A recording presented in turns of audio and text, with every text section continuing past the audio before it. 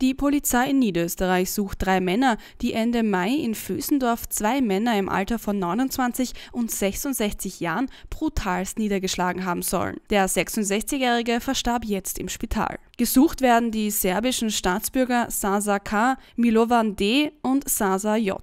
Die drei Männer im Alter von 25 bis 46 Jahren stehen im Verdacht, am 29. Mai in bewusstem und gewolltem Zusammenwirken die beiden Männer aus dem Bezirk Mödling im Zuge einer Streitigkeit bei einer Feier zusammengeschlagen zu haben. Laut Informationen der Krone soll es dabei um einen Streit zweier verfeindeter Familien gehen. Die Serben verletzten ihre Opfer, Vater und Sohn, mit wuchtigen Faustschlägen und Fußtritten im Gesicht und am Oberkörper schwer. Ein Zeuge verständigte die Polizei, die Schläger ergriffen daraufhin mit einem Fahrzeug die Flucht. Die Opfer wurden in die Landeskliniken Wiener Neustadt bzw. Mödling gebracht. Am Donnerstag verstarb der 66-Jährige infolge seiner schweren Verletzungen. Die Fahndung nach den drei Verdächtigen läuft auf Hochtouren. Es wird wegen Verdachts des Mordes und der absichtlichen schweren Körperverletzung ermittelt.